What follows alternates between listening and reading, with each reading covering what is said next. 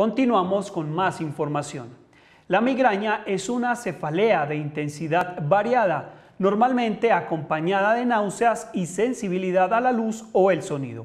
Este será el tema de hoy en nuestra sección de salud.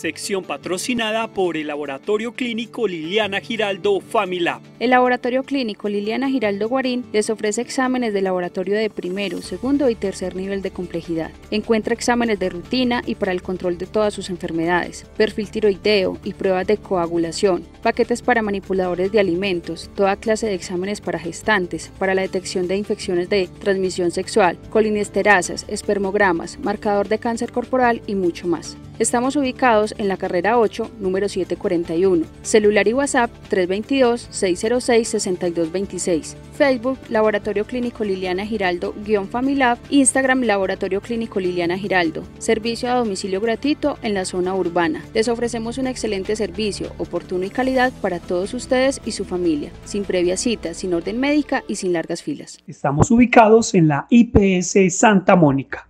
La migraña se caracteriza por padecer episodios frecuentes de dolor de cabeza con una intensidad fuerte, que suelen durar entre 4 y 72 horas. La migraña es algo que por definición es crónico, o sea que mejora por tiempos, vuelve y recae.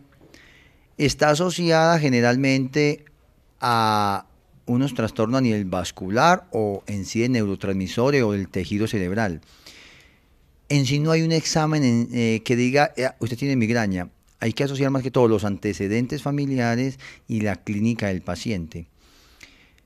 Ya obviamente a nivel del interrogatorio en la historia clínica y el examen físico, uno ve si ese dolor de cabeza realmente es una migraña o es otra cosa. Antes de producirse la migraña, algunas personas sienten un conjunto de sensaciones llamado aura, que procede al inicio del dolor. Antes del dolor de cabeza, el paciente puede ver lucecitas, visión borrosa, entumecimiento en una parte de la cara, náuseas y a los minutos o a las horas empezar el dolor de cabeza.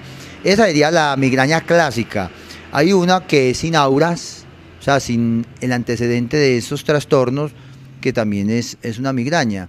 Entonces la clave es mirar la historia familiar porque es muy unida la familia, ah, que la tía, que mi hermana, porque es más que todo en mujeres, aunque el hombre también la puede sufrir, pero más que todo es en mujeres, de una edad de 14, 15 años a 55. Es muy rara en las edades extremas, en los ancianos o en los niños, aunque se puede dar, pero es más, es más rara. El tratamiento de la migraña puede abordarse con fármacos dirigidos a mitigar los ataques y otros para prevenirlo. La clave en la migraña, en el tratamiento, no es mandar solamente medicamentos para el dolor.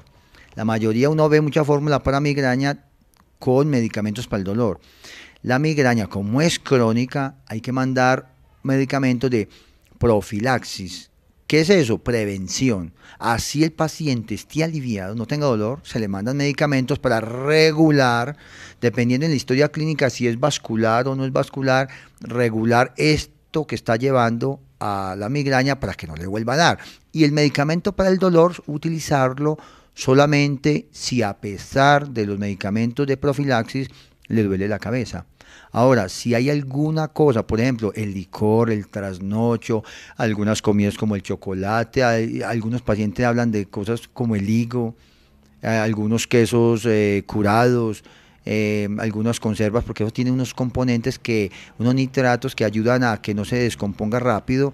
Hay esas, esas carnes frías, hay gente que les empeora. Entonces, si ellos detectan ese antecedente, pues obviamente no consumir eso que esté llevando al dolor de cabeza. La migraña afecta alrededor del 15% de la población mundial, siendo tres veces más frecuente en la mujer que en el hombre.